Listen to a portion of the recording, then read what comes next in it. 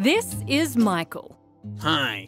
He's 31 years old, lives in a major US city, went to college, and earns $60,000 a year. He's the most common demographic you'll find on online dating. And he's kind of lonely. Actually, really lonely. So pepper lonely. But why do we feel lonely? First of all, there's something we need to clear up. Michael is lonely and he's also alone. Oh man. But there are lots of people who choose to be alone and are not necessarily lonely. It's not a bad thing. Some suggest that solitude is essential for creativity and it can help improve your attention span. But Michael doesn't feel that way. and some of us are prone to feel just like Michael. Recent studies have linked loneliness to our genes. Huh? People with certain genetic markers, namely a variant of the serotonin transporter gene, will feel lonelier than people without this genetic marker when they're in the same situation.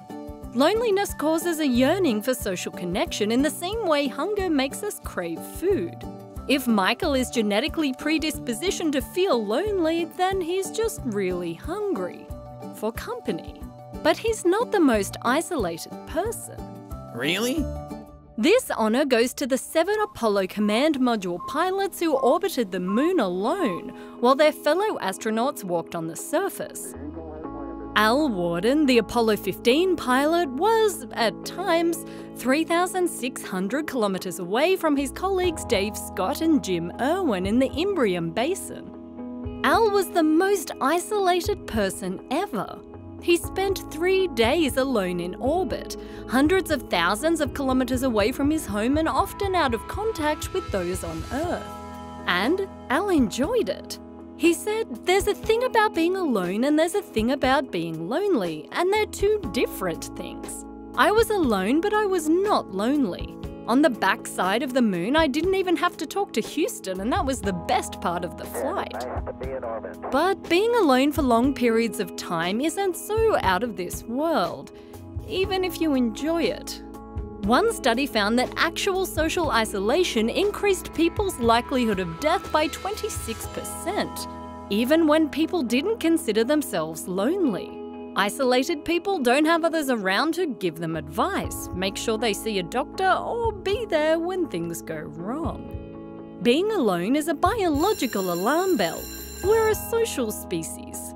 But if you're struggling for company, a healthy dose of nostalgia can counteract those lonely feels.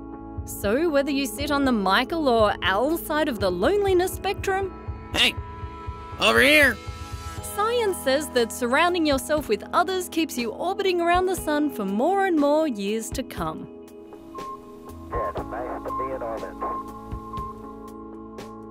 Hey everyone, it's Vanessa. I just wanted to pop in and say thank you so much for watching Braincraft.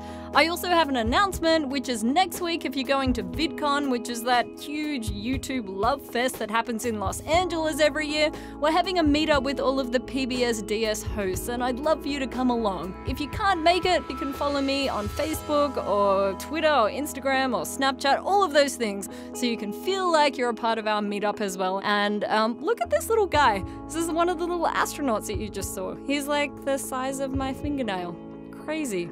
Anyway, see you next. Th- oh, I won't see you next Thursday because I'll be at VidCon. See you in two Thursdays' time. Oh man.